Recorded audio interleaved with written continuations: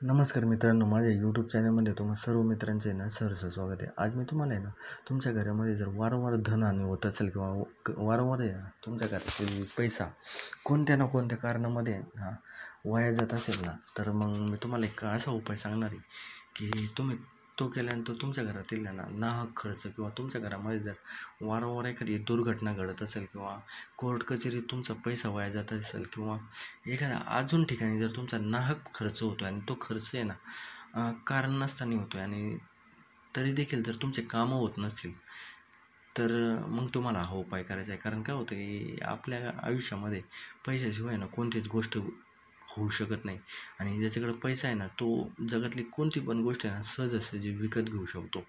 पण जर आपल्या घरामध्ये पैसा आहे आणि तो पैसा जर आपला नाहक कुठं ना कुठं पैसा जर आपला नाहक खर्च होत असेल ना तर मग तुम्हाला हा उपाय करायचा आहे.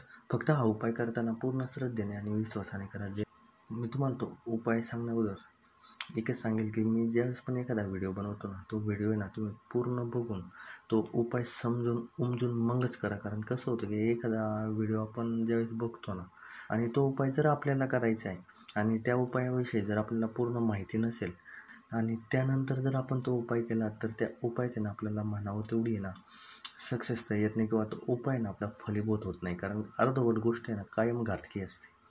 अर्धवट केलेले उपाय ना कधीच फलीभूत होत नाही. त्यासाठी मी तुम्हाला एकच सांगेल की ज्यावेळेस पण मी उपाय सांगतो ना ते व्हिडिओ पूर्ण बघून मगच तो उपाय करा.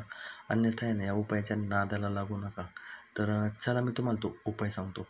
तो उपाय सांगण्याअगोदर मी तुम्हाला एकच नंबर विनंती करेल की तुम्ही जर आत्तापर्यंत माझ्या चॅनलला सबस्क्राईब केलेलं नसेल तर सबस्क्राईब करून घ्या. सोबतच घंटीचं बटन दाबा. जेणेकरून तुम्हाला माझे पुढचे येणारे व्हिडिओ ना सहजासहजी प्राप्त होतील. तर चला मित्र मी तुम्हाला तो उपाय सांगतो. तुम्हाला काय करायचं आहे हा उपाय ना शुक्ल पक्षातला जो पण पहिला मंगळवार असतो ना त्या दिवशी तुम्हाला हा उपाय करायचा आहे. त्यासाठी तुम्हाला बाजारातून आहे ना सव्वा मीटर आहे ना लाल वस्त्र विकत आणायचे आहे. त्याचबरोबर आहे ना लाल मसूर आहेत ना ते पण विकत आणायचे आहेत.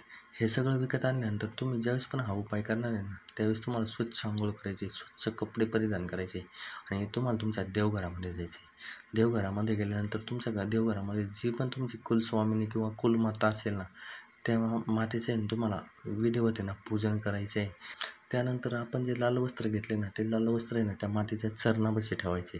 त्यामध्ये आहेत ना ते आपण जे मसूर घेतलेत ना ते मसूर आहेत ना टाकून देऊन त्याचे ना एक गाठोडं तयार करायचे. ते गाठोडं तयार केल्यानंतर तुमच्या घरामध्ये जेवढे पण सदस्य आहेत ना त्या सदस्यांच्या डोक्यावर नाही ना अकरा वेळेस आहे ना ते तुम्हाला उतरून घ्यायचे आहेत. आणि ते उतरवल्यानंतर तुम्हाला काय करायचं आहे तुमच्या जवळपास जिथं पण वाहते नदी किंवा वाहतं पाणी असेल ना त्या पाण्यामध्ये ते सगळं गाठोडं तुम्हाला प्रवाहित करायचं आहे नंतर तुम्ही बघताल की तुमच्या घरामध्ये ज्या वारंवार ह्या घटना होतात ना त्या घटना देखील ना बंद होतील. आणि ना जो पैसा तुमचा वाया जातो आहे ना तो पैसा वाया जाणार नाही. तर चला मित्र तुम्ही हा छोटासा उपाय करून बघा. हा उपाय समजण्यात जर काय अडीअडचणी असतील तर मला नक्कीच कॉमेंट बॉक्समध्ये विचारा. मी त्या सांगण्याचा आहे तुम्हाला नक्कीच प्रयत्न करेल तसेच माझा हा व्हिडिओ आवडला असेल त्या व्हिडिओला एक लाईक करा जेणेकरून मला पुढचे व्हिडिओ बनवण्यासाठी मोटिवेशन भेटेल. तर चला मित्रांनो भेटूया पुढच्या व्हिडिओमध्ये. तोपर्यंत नमस्कार.